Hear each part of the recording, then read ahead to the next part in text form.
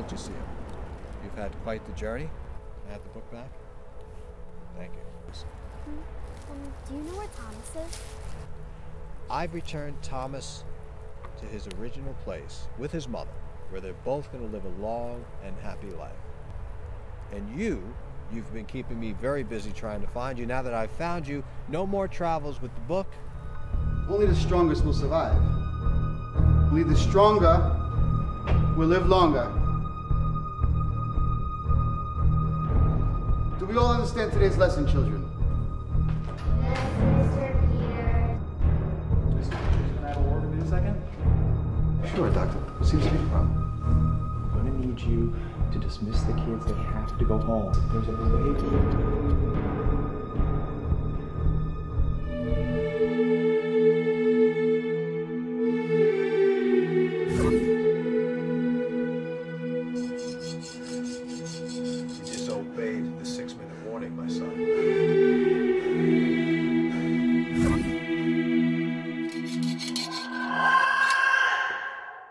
Don't see much either, Spanky, but I can smell the stench of a case.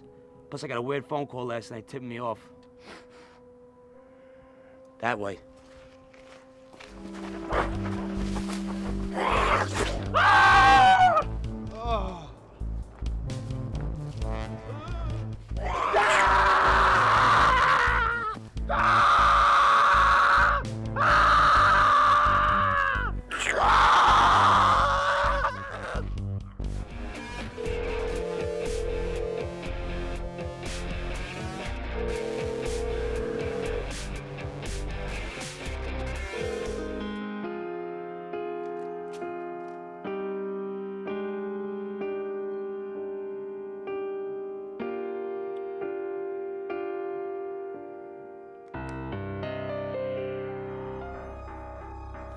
Oh, good lord.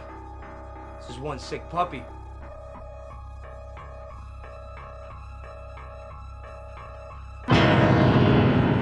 Mommy? Why don't you get the paramedics down here? We can still save him. I'm not so sure we want to save him quickly. I'm sorry, bud, but you are one sick bastard. We can't just leave him here like this. He was one hell of a detective. Martha! Martha! There you are. Been looking for you. Where have you been? Oh, Martha, stop playing games. Martha!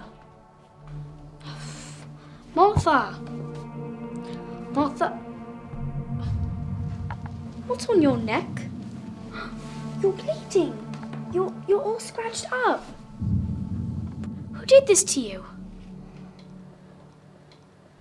Martha, who did this to you? Mummy. Mummy? Very well, Mrs. Peterson.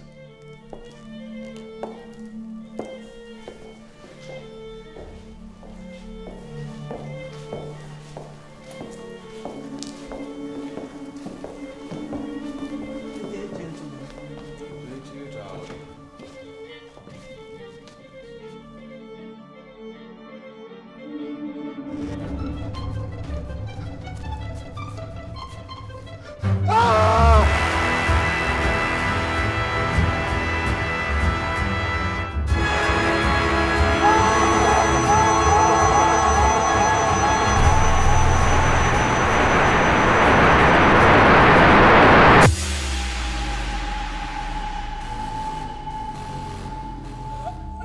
Hey!